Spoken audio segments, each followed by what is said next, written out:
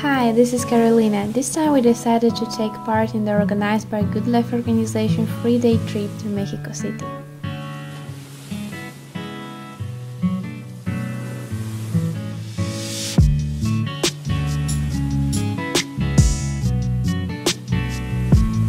Our trip started with a long ride with the bus from Monterrey to Mexico City. It took around 10 hours. We had a kind of packed schedule and huge traffic in the city wasn't helping us. During the first day, we were able to have a boat ride in the Xochimilco, and after we joined a wrestling show. It was the most interesting part of the first day.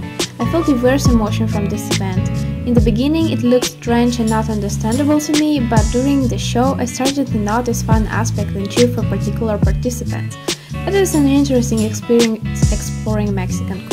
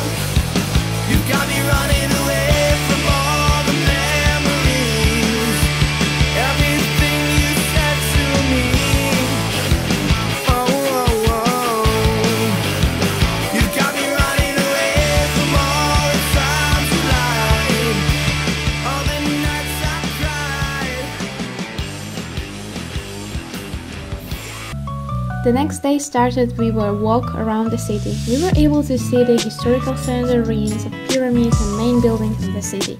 That day we with a friend woke up early because it's the best way to enjoy walking in one of the busiest cities in the world. We were able to see lazy morning city and only locals preparing breakfast were on the streets.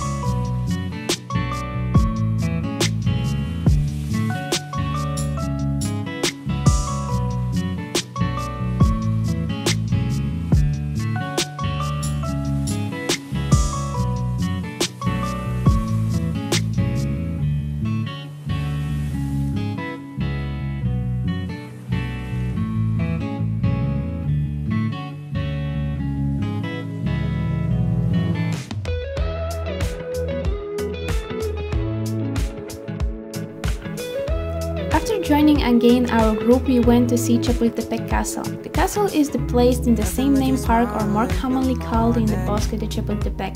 The presented park is one of the largest city parks in the Western Hemisphere. From the castle hills open the best 360 degrees panorama. The 18th century castle is the only royal palace in the North America.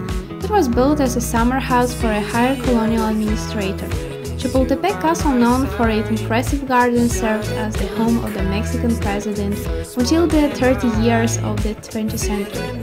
Now it's open as a museum, and everyone who wants to touch royal atmosphere can visit the palace, have a walk in the royal garden, and look for a hidden secrets in the several rooms.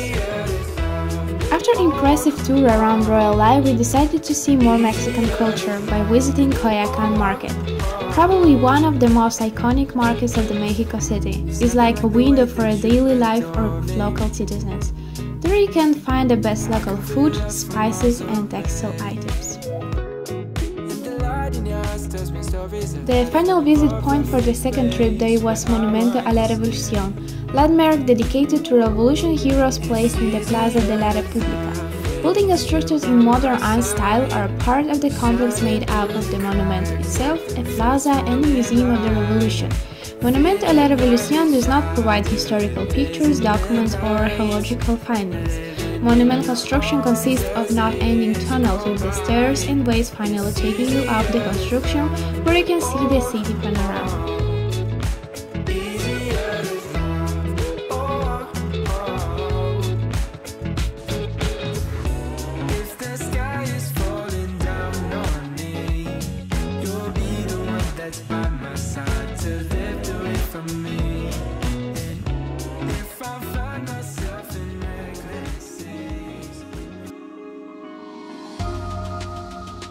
Day 3, the last day of the trip, started at Teotihuacan Pyramids. The place name Teotihuacan, translated as the place where the gods were created, is an Asian city more known as a complex of pyramids, plazas, and temples.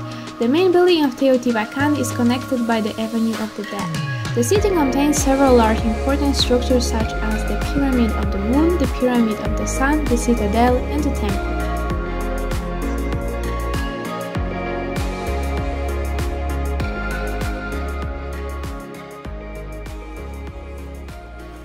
The last stop we made on the way back to Monterrey was the city of Querétaro.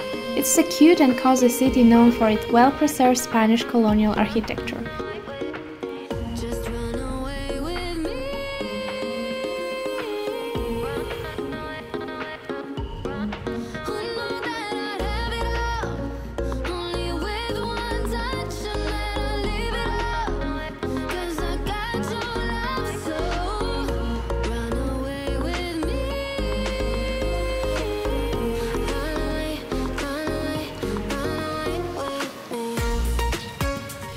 Main reason was to make a stop in the city because of the Los Arcos Querétaro. It is an 18th century aqueduct with a beautiful story behind it.